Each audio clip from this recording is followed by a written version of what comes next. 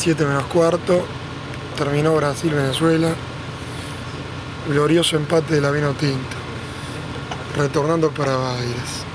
Y Débora pregunta. Y Débora pregunta. a ver si ¿Who la- is Diego Álvarez? Diego Álvarez o Alves.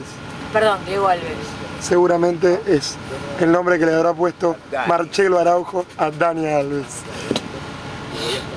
Exacto. Una reflexión final de Débora D'Amato de su figura Alexander Pato. Mira cómo rimó. No, Alexandre. no concuerdo, Alexandre, no concuerdo con la elección del mejor jugador de la- del partido por Neymar. Pero bueno, estaba en campo de juego. La figura de, de Venezuela, sin lugar a dudas, fue Maestrico, como anticipé, y para mí fue Alexandre. Voy a, voy a dejarlo en el brete. Pelota Pa- en el palo, el pase de gol que no lo hacían los otros burros, horrible. Está bien argumentado. Voy a dejarle, digamos, el voto final a Pablo. Porque si Pablo Aro confirma lo que dice Débora D'Amato, Débora D'Amato Es un oráculo. es un oráculo y, y volvió a acertar. O sea, si lo confirma... Le pifió en el 4, en el No, 4. está bien, pero es verdad. La otra vez le pifiamos el resultado también. Vos le pegaste quién es la figura, quién va el partido.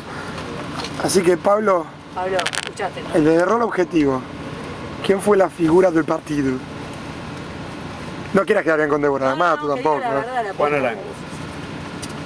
Es, co- es Es un- punto final, Es un distinto, es un distinto, Marito. siempre te garga. Este, Juan Arango, listo. Entonces, Débora realidad la, la figura fue el muñeco brasileño.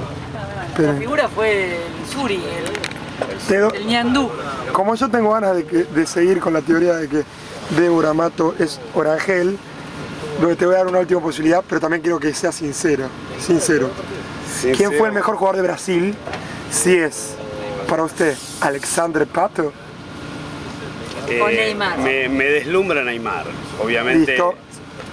es, es- es mucho más vistoso que efectivo lo de hoy, pero, pero me quedo con Neymar. Entonces, Es un puto. Este trío, este trío decide, Puto el que opina, puto el que opina. este trío decide que la figura venezolana fue Arango y la figura brasileña, carioca, fue Neymar, porque para mí fue Neymar. se- se dejan ustedes con... Aunque la situación más clara Compran un buzón. la tuvo Alexandre. Así que, Alexandre Pato. de todas formas, el que estuvo más cerca del resultado fue yo porque dije que era 1-2.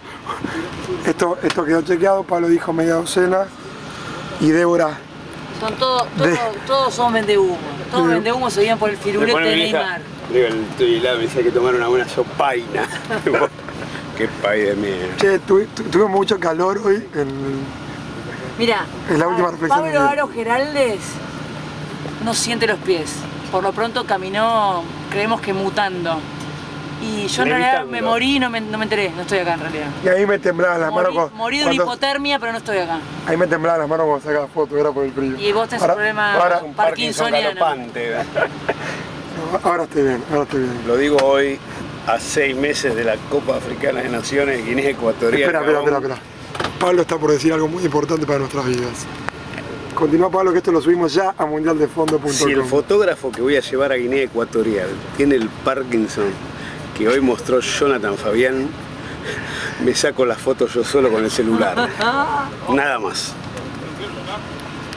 con, con, est- con esta declaración un poco injusta, porque no, no tomó en cuenta la circunstancia, que yo estaba tirado en ple- plena sala de prensa, sin ángulo prácticamente, nos despedimos, basta por hoy, y una, déjame una última sensación, qué lindo es haberse reencontrado con el pueblo venezolano, un país que tan bien me trató cuatro años atrás.